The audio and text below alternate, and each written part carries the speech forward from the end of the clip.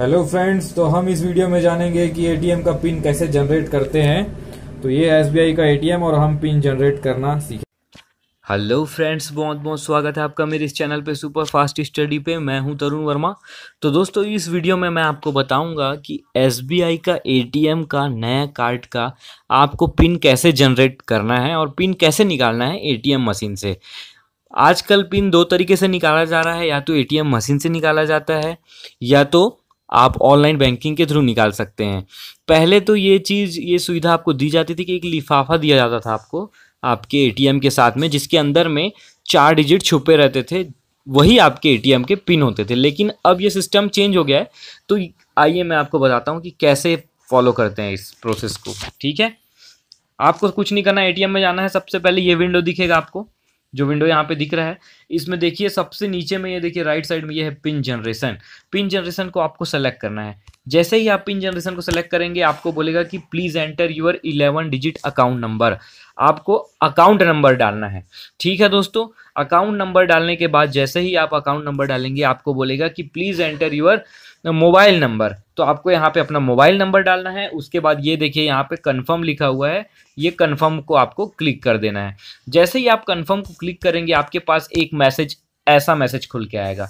इस मैसेज को भी आपको कंफर्म कर देना है। जी हाँ दोस्तों, इसको भी आप कंफर्म कर देंगे। जैसे ही आप इसको कंफर्म करेंगे, आपके मोबाइल में तुरंत एक मैसेज आएगा और जो विंडो है इसका एटीएम का, वो क्लियर हो जाएगा। मतलब जैसे स्टार्टिंग में रहता है विंडो वैसी हो जाएगा। और आपके मोबाइल में जो मोबाइल आपने बैंक में दिया है, ऐसा एक मैसेज आ जाएगा उसमें। तो दोस्तों, उसमें आपका ये दिया रहेगा यूर ओ यानी वन टाइम पासवर्ड इज़ ऐसा दिया रहेगा दोस्तों। जैसे ये दिया seven four three two seven four three two है ना? ये सेवन फोर थ्री टू तो ये आपका पिन हो जाएगा, ठीक है दोस्तों? फिर आपको क्या करना है? ये पहला स्टेप आपका कंप्लीट हो गया है।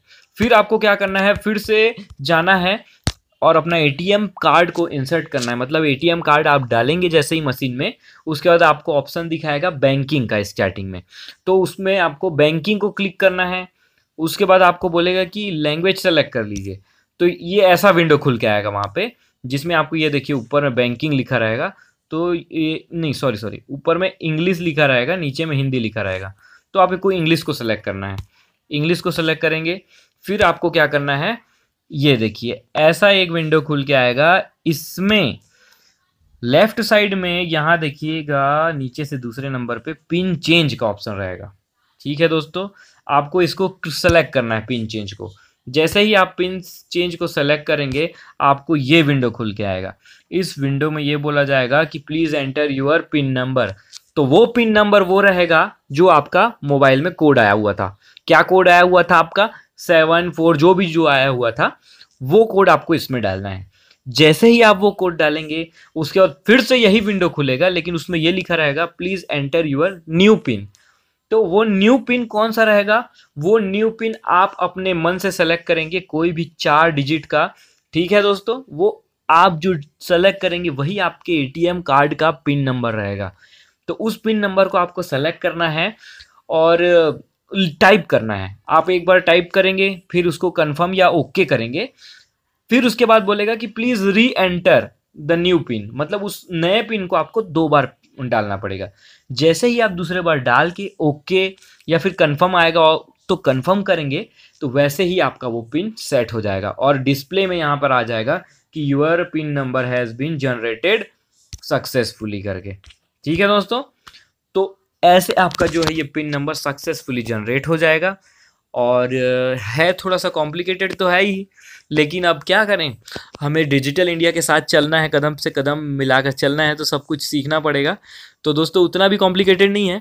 और अगर ये जानकारी आपको थोड़ी सी भी अच्छी लगी हो तो प्लीज़ लाइक और शेयर ज़रूर कर दें और चैनल को सब्सक्राइब करना तो बिल्कुल भूलें ही मत। थैंक यू फिर मिलूँगा आपसे कुछ अच्छा वीडियो लेके नेक्स्ट थैंक यू